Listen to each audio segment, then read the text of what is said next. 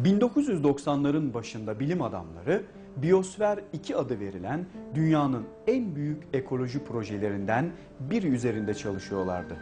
Proje ismini Amerika Birleşik Devletleri'ndeki Arizona çölünde yer alan dev yapıdan alıyordu. Burası Arizona çölünde 13 bin metrekarelik bir alana yayılan cam ağırlıklı yapı malzemeleri ve betonla inşa edilmiş, kapıları dışarıya sımsıkı kapatılmış bir yaşam alanıydı. Görünümü dev bir serayı andırıyordu. Yapılan planlara göre dış dünyaya kapalı bu dev yapının içinde yeryüzünde yaşama kaynaklık eden su, oksijen ve azot çevirimi gibi mekanizmaların kendiliğinden işlediği bir ekosistem kurulacaktı. Yeryüzünden izole edildiği halde işlemesi planlanan bu ekosistem 2 yıl boyunca içeride yaşaması planlanan 8 kişiye de hayat imkanı sağlayacaktı. Ancak deneme sona erip de kapılar açıldığında bilim adamları bu suni yaşam alanında işlerin hiç de planlandığı gibi gitmediğini gördüler. Oksijen oranı %14'e düşerek deniz seviyesinden 5300 metre yükseklikteki düzeye inmişti.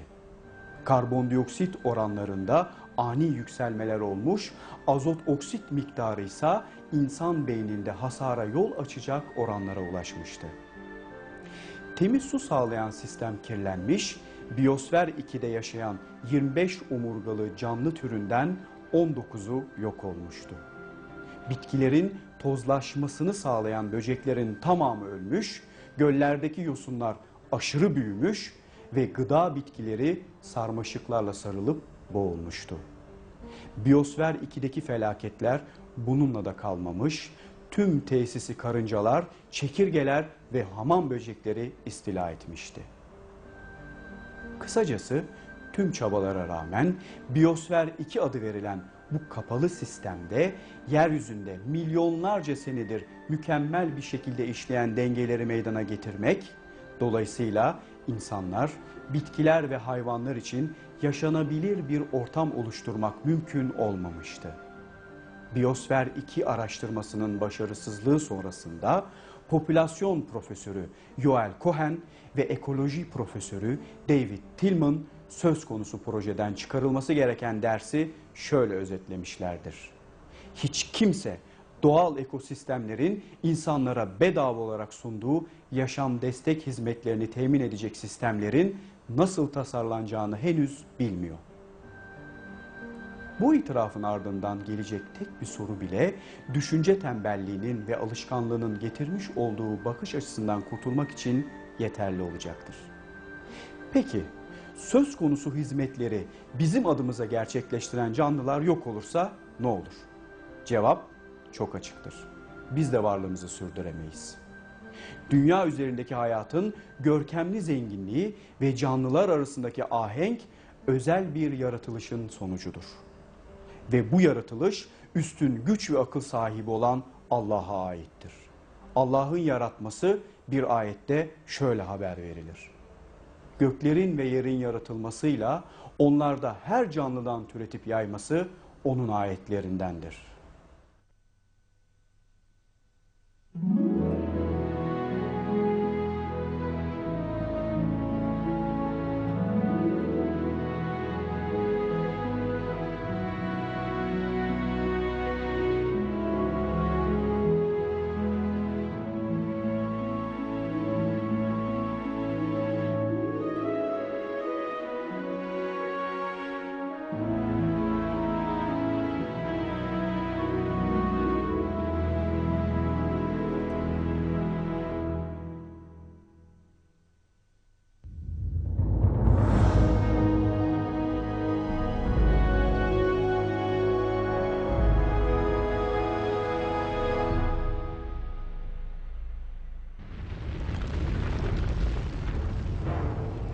Korkunç bir yer sarsıntısı, gün ışığını tamamen kesen duman ve kül bulutu,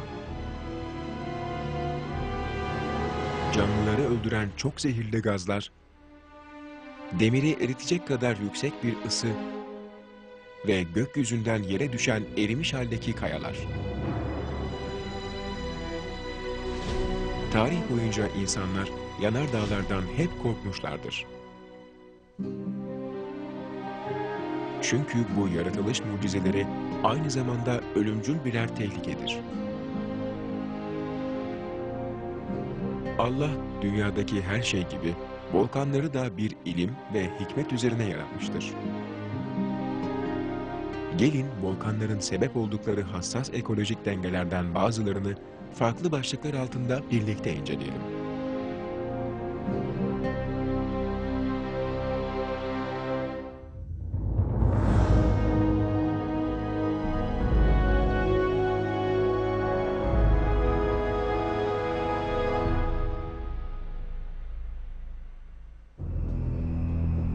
Yanardağlardan fışkıran magma, yerkürenin derinliklerinden çıkarken çok sıcak, yoğun kıvamlı bir akışkan halindedir.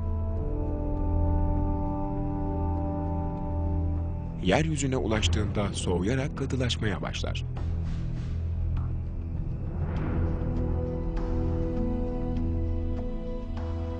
Katılaşma sonunda magmanın yapısı başkalaşım geçirerek değişir ve kayaç olarak adlandırılan taşlaşmalar ortaya çıkar.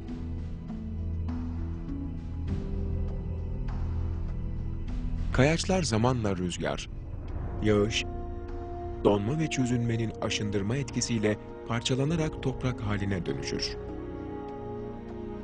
Ayrıca volkanik faaliyetler, yeryüzünde birçok madenin ve değerli taşın oluşmasındaki başlıca nedenlerdir. Örneğin bakır, elmas, demir, çelik ve granit bu önemli madenlerden sadece birkaçıdır.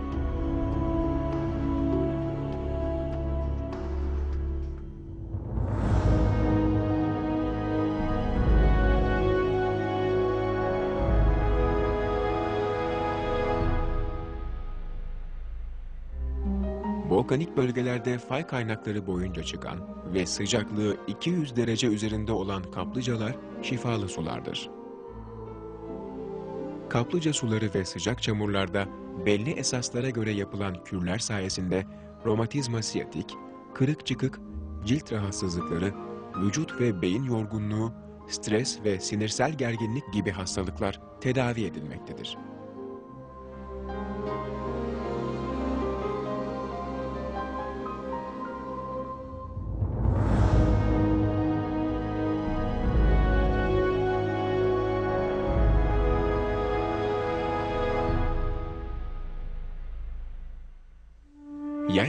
Yeryüzündeki volkanik faaliyetler olmasaydı ne olurdu? Bugün günlük hayatta ve sanayide yararlandığımız madenlerin birçoğu var olmayacaktı. Belki bunlar yapay olarak elde edilecek ya da yerlerine başka alternatifler bulunacaktı. Fakat bu daha fazla emek, beyin gücü ve masraf gerektirecekti. Aynı biçimde içinde çeşitli mineral madenler bulunan sıcak sular ve kaplıcalar olmayacaktı. Topraklar mineral bakımından zayıf olacak ve temel besin kaynağımız olan bitkilerden yeterince faydalanmamız mümkün olmayacaktı.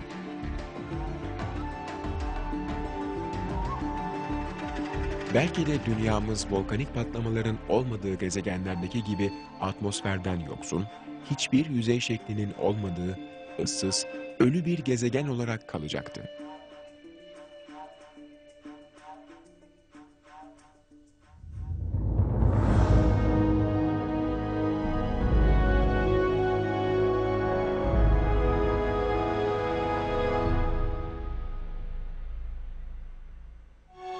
Şimdi de volkanik faaliyetlerin sürekli olduğu bir dünya düşünün.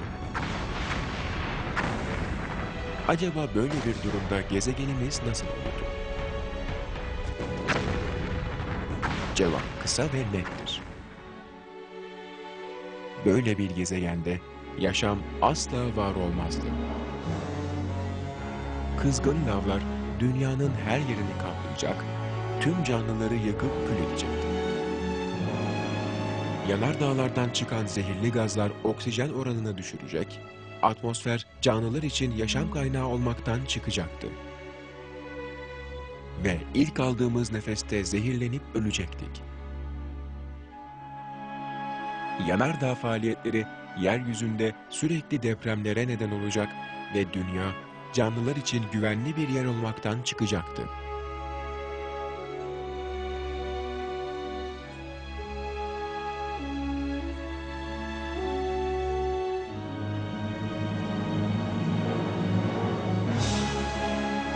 Allah dünyadaki her şey gibi volkanları da üstün bir düzen ve hassas bir denge üzerinde en uygun şartlar altında yaratmıştır.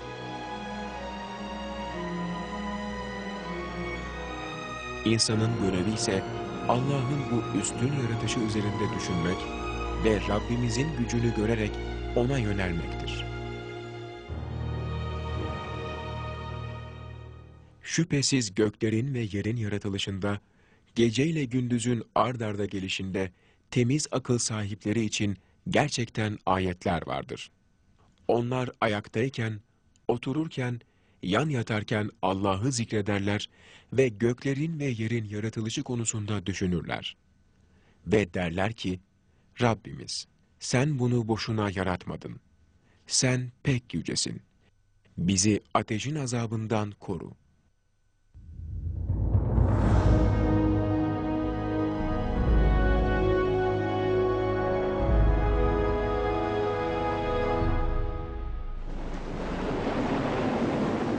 Gökyüzünde çakan şimşekler,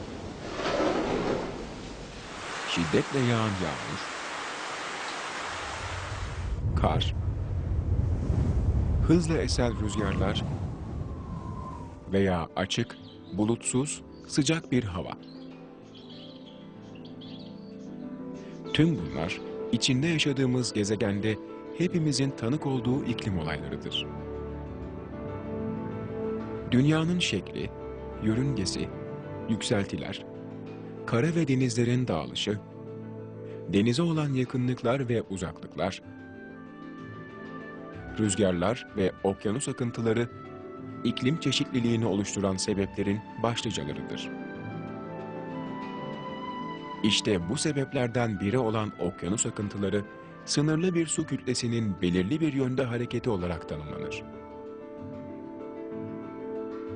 Şüphesiz Yüce Allah, sıcak ve soğuk su akıntılarını bir amaçla yaratmış, insanların öğüt alıp düşünmesi için birçok ilim ve hikmetle kuşatmıştır. Gelin bu mucizelerden bazılarını vereceğimiz örneklerle hep birlikte izleyelim.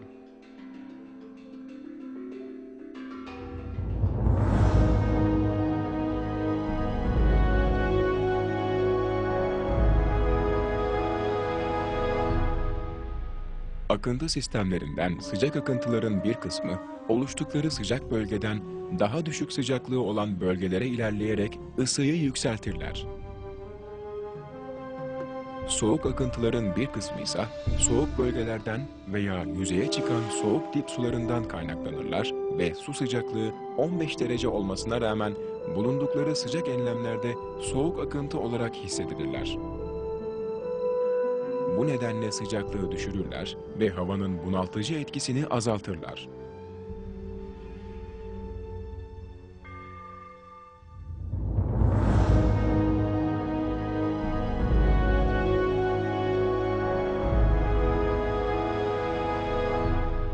Kıtaların batısında yer alan kıyı çöllerinin ortaya çıkış nedeni soğuk okyanus akıntılarıdır.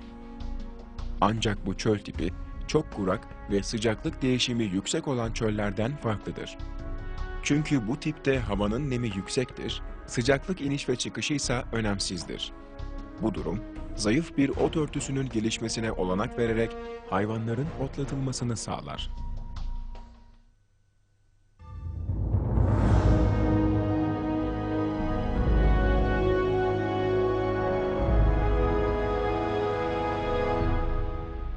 Su akıntıları denizlerde besin ve oksijen taşırken beslenme potansiyelini dolayısıyla balık çeşitliliğinin artmasını sağlar. Ayrıca bu balıklarla beslenen deniz kuşlarının türünü ve sayısını da yine belli oranlarda arttırırlar. Yüzebilen diasporlar ve çeşitli bitki tohumları binlerce kilometre kat ederek dünyanın farklı bölgelerine akıntılar yoluyla taşınır. Aynı biçimde buzulların üzerine yapışmış olan bitki tohumları da bu yolla daha uzak alanlara yayılırlar.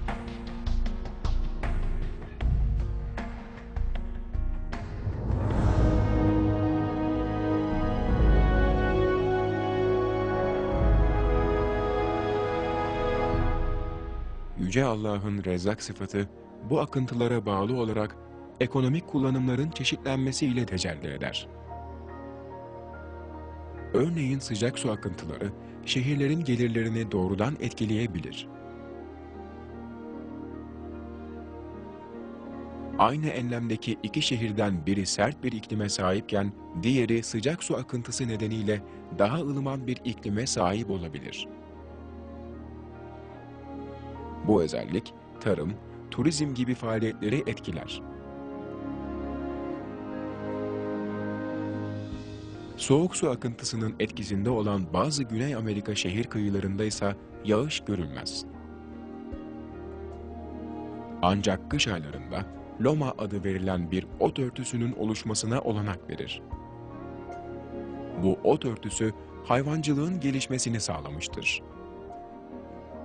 Ayrıca bu sahillerdeki adalarda soğuk su akıntısının oluşturduğu besin zincirine bağlı olarak deniz kuşları yaşar.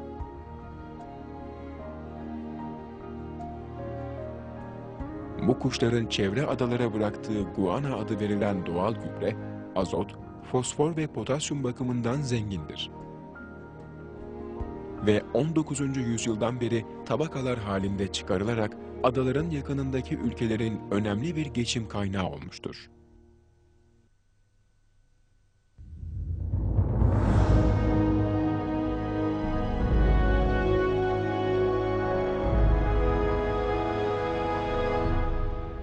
Denizlerde ısı değişiklikleri çok ani olur, oksijen ve tuz oranı değişir. Bu durum balıkların ve diğer deniz canlılarının ölümüne neden olurdu. İklimde anormallikler ortaya çıkardı. Yoğun sisler ve şiddetli yağışların getirdiği seller ölümcül sonuçlar yaratabilirdi. İklimsel engeller oluşurdu. ılıman bölge bitkileri soğuk alanlara veya tropikal bitkiler çeşitli alanlara bugünkü kadar yayılamaz. Tarım alanlarında oluşacak sınırlar dolayısıyla insanların yaşam alanı bu kadar geniş olmazdı. Görüldüğü gibi sıcak ve soğuk su akıntıları tam olması gerektiği yerde havayı ısıtmakta veya serinletmektedir. Bu özellikleri insanların dünya üzerindeki yaşam alanlarını genişletmekte, rızık vermekte ve diğer canlıların tür çeşitliliğini artırmaktadır. Böyle bir düzen elbette ki tesadüfler sonucunda oluşamaz. Yerküre üzerindeki bu hassas denge, üstün bir akıl sahibi, göklerin ve yerin Rabbi olan Allah tarafından kurulmuştur.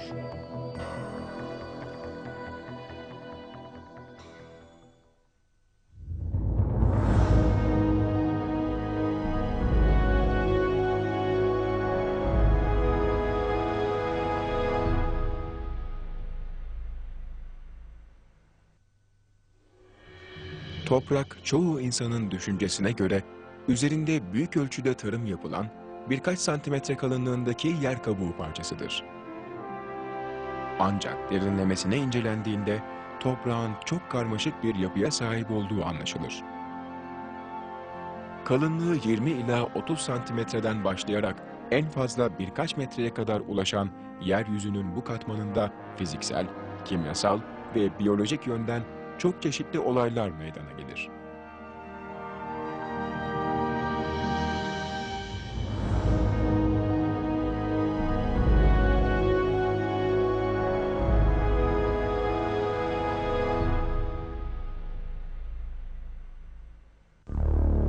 Toprağı karmaşık ve ilginç yapan özelliklerin başında bizzat kendi oluşumu gelmektedir. Bu oluşum, kayaların fiziksel olarak parçalanması ve ufalanmasıyla başlar. Ancak toprak oluşumu için sadece kayanın olması yeterli değildir. Diğer faktörler içinde yer alan iklim de tek başına ve dolaylı olarak büyük önem taşır. Çünkü bu faktör çözünme, ayrışma, bitki örtüsü, mikroorganizma ve diğer organizma faaliyetlerini belirlemektedir. Daha sonra suyun etkisiyle kimyasal ayrışma olayları gerçekleşir ve kayaların bünyesinde bulunan mineraller açığa çıkar. Ancak ortaya çıkan materyal gerçek anlamda toprak değildir. Ayrışmış kaya parçası olarak tanımlayabileceğimiz bu materyal cansızdır. Başka bir deyişle ölüdür. Çeşitli kimyasal mineraller içeren bu inorganik madde üzerinde yosun ve otlar yetişmeye başlar. Bu bitkilerin kökleri ana materyalin ayrışmasını hızlandırırken kopan yapraklar ve dallar bunları parçalayan mikroorganizmaların faaliyetlerini başlatır. Bitkilerin yaprak ve dallarının dökülerek toprağa karışması ve bunların mikroorganizmalar tarafından ayrıştırılmasıyla toprağın organik maddesi de oluşur. Artık oluşan bu materyal üzerinde bitki çeşitlerinin yetişmesi mümkündür. Yaklaşık bir buçuk dakikadır anlatmakta olduğumuz bu oluşum süreci, doğada milyonlarca yıllık bir zaman diliminde meydana gelmektedir. Bu denli hassas ve detaylı bir denge içeren toprağın oluşum mucizesi bizlere üstün bir yaratıcı olan Allah'ın yaratma sanatının mükemmelliğini bir kez daha gösterir. Yüce Allah bir Kur'an ayetinde şöyle bildirir. Ölü toprak kendileri için bir ayettir. Biz onu dirilttik, ondan taneler çıkarttık. Böylelikle ondan yemektedirler. Şüphesiz Allah dileseydi, toprağa tüm bu geçmiş aşamaları ve uzun yıllar süren oluşum süreçleri olmadan da tarıma hazır olarak bir anda yaratabilirdi. Ancak Rabbimiz bir imtihan ortamı olan dünyada her şeyi belli bir sebep sonuç çerçevesi içinde yarattığı gibi toprağı da bu surette yaratmıştır. Nitekim Yüce Allah bir ayette şöyle bir örnek vererek bu durumu açıklar. Rabbini görmedin mi? Gölgeyi nasıl uzatıvermiştir? Eğer dilemiş olsaydı onu durgun kılardı. Sonra biz güneşi ona bir delil kılmışızdır.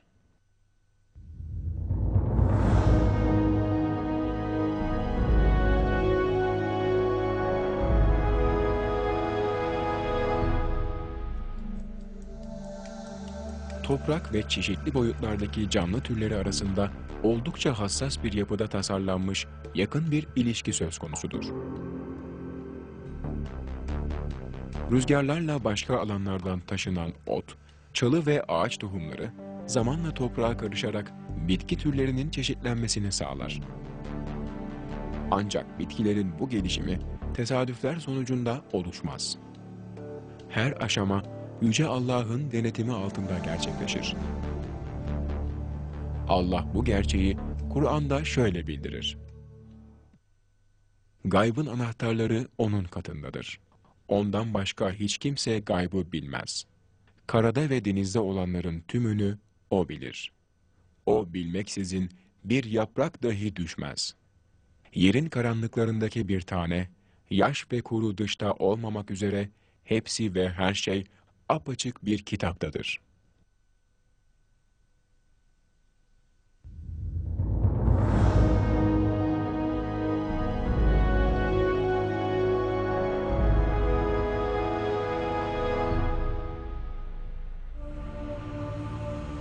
Siz şu an bu filmi seyrederken milyonlarca metreküp su okyanuslardan atmosfere, oradan da karalara taşınmaktadır.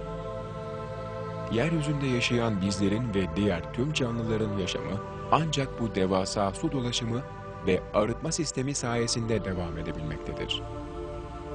Eğer bu işi biz organize etmeye kalksaydık, kuşkusuz dünyanın tüm teknolojisini bir araya getirsek dahi bunu başaramazdık.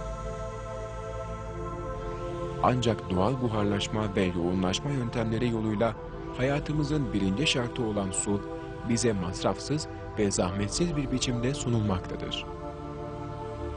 Yağmur, yeryüzündeki hayatın devamı için en önemli unsurlardan biridir. Yağmurun oluşumu sırasında okyanuslar, denizler, atmosfer ve karalar arasında bir su dolaşımı söz konusudur. Çeşitli yollarla atmosfere dahil olan su buharı, uygun koşullar altında yoğunlaşarak yağmur, kar ve dolu şeklinde yeryüzüne geri döner. Yüce Allah, Kur'an'da yağmurun oluşumuyla ilgili az önce kısaca bahsettiğimiz süreçleri şöyle haber verir.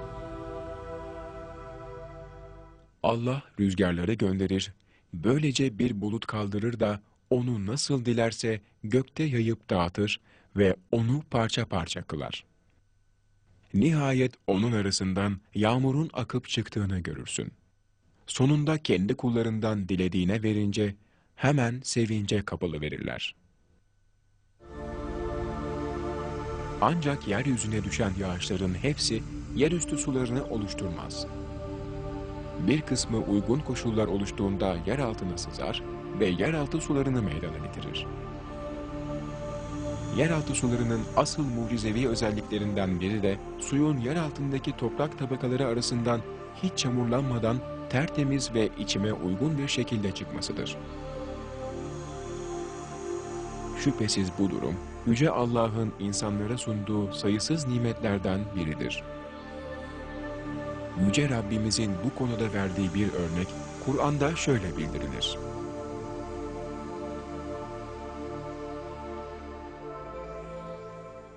Görmüyor musun? Gerçekten Allah, gökyüzünden su indirdi de onu yerin içindeki kaynaklara yürütüp geçirdi.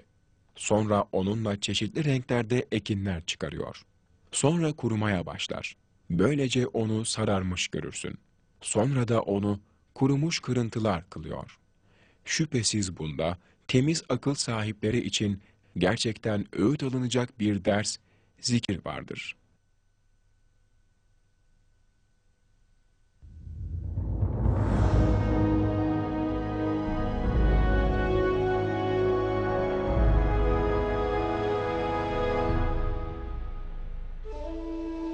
Yer altına inen sular az önce saydığımız nedenlerden ötürü hemen toprağın altında birikmezler.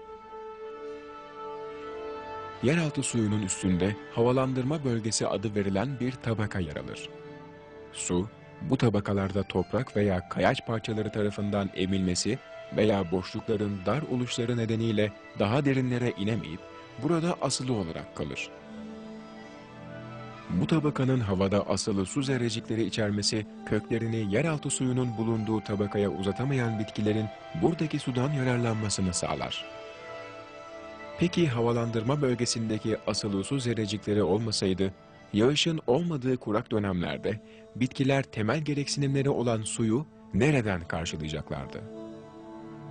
Büyük ihtimalle karşılayamayacak, kurak dönemlerde hepsi solacak, dünyamız şimdiki gibi renkli çiçekler, çeşitli meyveler ve sebzelerle dolu olmayacaktı.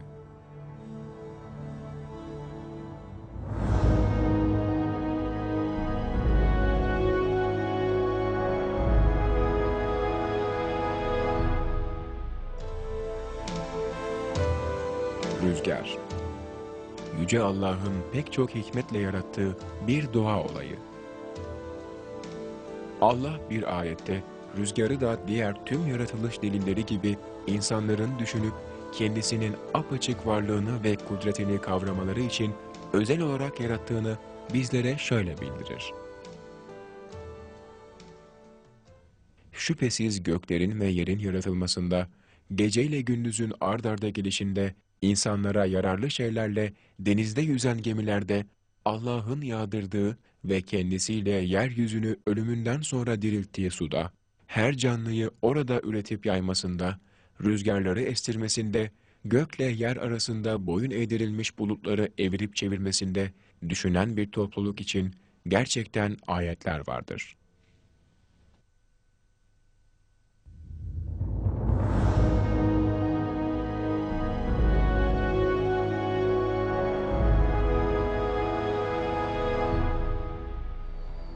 Havanın ısınıp kütlesel olarak yer değiştirmesi, yer küre üzerinde çeşitli basınç merkezleri oluşmasına neden olur. Atmosferin yaptığı basınç, dünyanın her yerinde aynı değildir.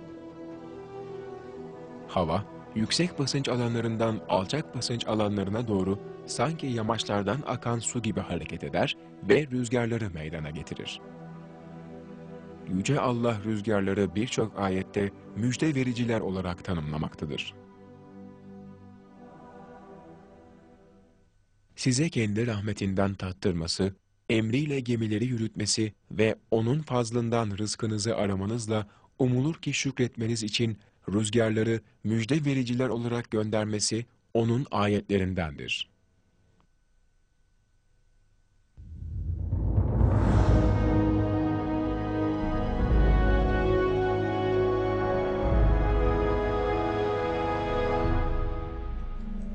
Meltemler sıcak mevsimde ve günün sıcak saatlerinde denizden eserek havayı serinleten rüzgarlardır. Bazı rüzgarlarsa geldikleri yere göre daha sıcaktır. Bu gruptakilerin en tanınmış olanı fön adı verilen rüzgarlardır. Bu rüzgarlar dünyanın dağlık ve serin kısımlarına hakim olan sert iklim koşullarını yumuşatma görevini yerine getirir.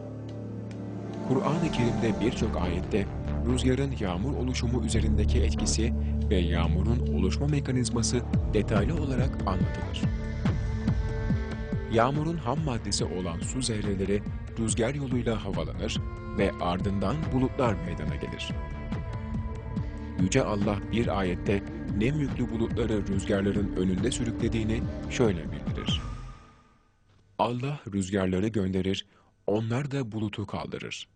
Böylece biz onu ölü bir beldeye sürükleriz, onunla yeri ölümünden sonra diriltiriz. İşte ölümden sonra dirilip yayılma da böyledir.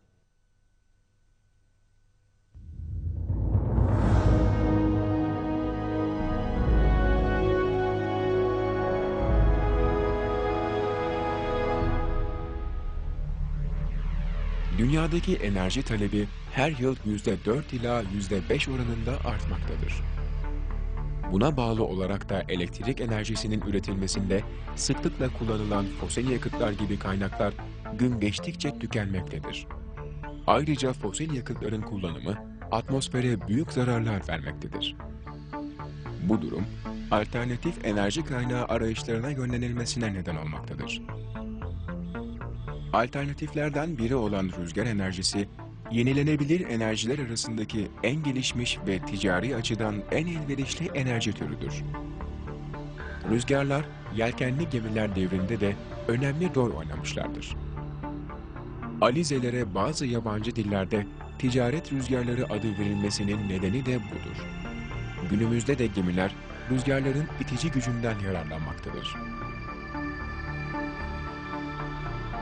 Kur'an'da gemilerin rüzgarlar yardımıyla denizde yüzebildikleriyle ilgili bir ayette şöyle buyrulur. Karada ve denizde sizi gezdiren O'dur.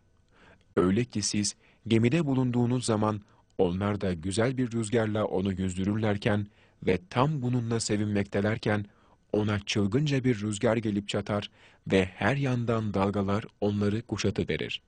Onlar artık bu dalgalarla gerçekten kuşatıldıklarını sanmışlarken, dinde ona gönülden katıksız bağlılar olarak Allah'a dua etmeye başlarlar. Andolsun, eğer bundan bizi kurtaracak olursan, muhakkak sana şükredenlerden olacağız.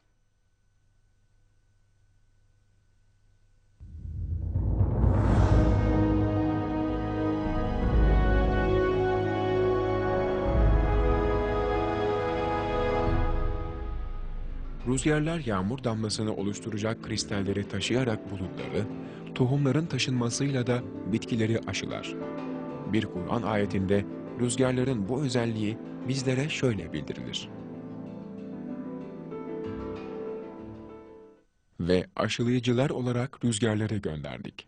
Böylece gökten su indirdik de sizleri suladık. Oysa siz onun hazine koruyucuları değilsiniz.'' Tıpkı yeryüzündeki sayısız mucize gibi rüzgarlar da insanlar için büyük bir nimet olarak yaratılmıştır. İnsana düşense bu önemli nimet için Allah'a şükretmek, onun kadrini hakkıyla takdir edebilmektir. Eğer dileyecek olsa rüzgarı durdurur.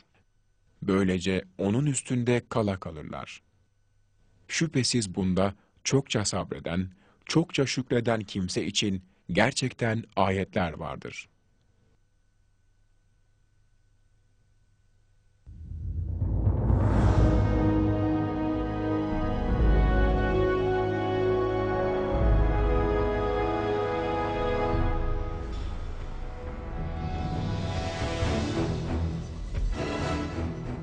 Film boyunca hep birlikte birçok yaratılış mucizesine şahit olduk.